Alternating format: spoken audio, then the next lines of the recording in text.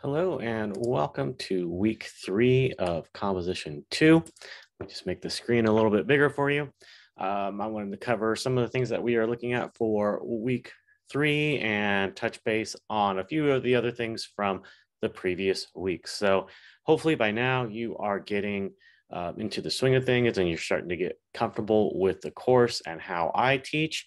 Many of you have reached out to me with questions and I appreciate that. Keep doing so. So um, this week, we are continuing to read They Called Us Enemy. We're going to talk a lot about research and how we do the research. So make sure you're watching these video lessons and learn more about the research project. The folders are down below. And that's really what we're going to start to uh, look at. Let's see. I say I have a video claim on lessons warrants. Um, I'm not going to do that. Instead, I have a response to our first reading and also kind of connecting things back to um, Blanda and Takei and the claims and warrants. So I will leave my old video up from last semester just so you can kind of see it because I say a lot of the same things, but they may not, they might not be all the uh, same claims, but I'll leave this up just because why not? If you're bored, want, want to learn something else, you can do that. Uh, so we are looking at completing our discussion topics. We're responding to our classmates on this. So we're putting down some topics. This is just a chance for us to throw things out there and say, maybe I'm interested in this, maybe I'm not. We are not locked in the stone on these topics. Uh, but the idea is respond, see if people have a reaction to this. Um, you obviously don't want to research what somebody else is doing. So maybe if someone else is thinking the same topic, you can contact them.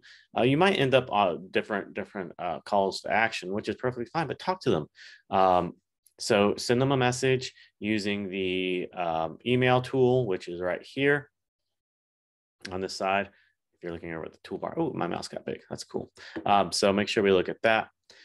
Then um, respond. I think these are important things to do because you might think you have a great topic, but it could be just not very good. Um, I was going to say another word, but uh, I won't do that. We have discussion board for um, the second part of the reading. Things are changing and uh, They Called Us Enemy. We're going to get more flashbacks uh, with George and his parents um, and a lot of other things. So again, we're taking these notes um, or using this discussion board as notes as a way to kind of record how we feel about this book because it'll come in useful for our book review. A book review is going to uh, make a recommendation. You should read this or you shouldn't read this for these reasons. So here's that video. You don't have to watch it if you don't want to. There's a section from our ebook about readers, uh, research, I'm sorry.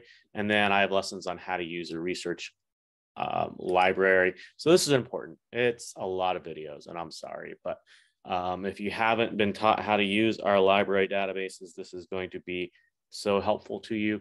Um, so use it, learn how to use it. Don't just rely solely on you know Google or or whatever. Use those databases, and then a discussion board that kind of helps you narrow your topic a little bit more.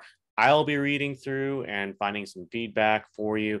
Um, I'm going to try to read through discussion six before you can get through to, to discussion eight and get your responses there. We have a summary for they called us enemy.